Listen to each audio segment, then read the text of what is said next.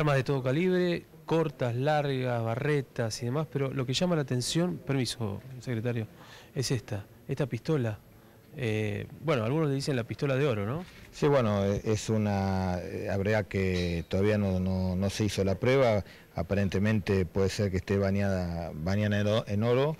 Este es una 7, es una, es una 765, que es como una, como una 22 un poquito más grande, que se usa por lo general en la eh, como, segunda pistola o tobillera, que se usa por lo general en los tobillos como una arma secundaria, por lo general va acá en el tobillo.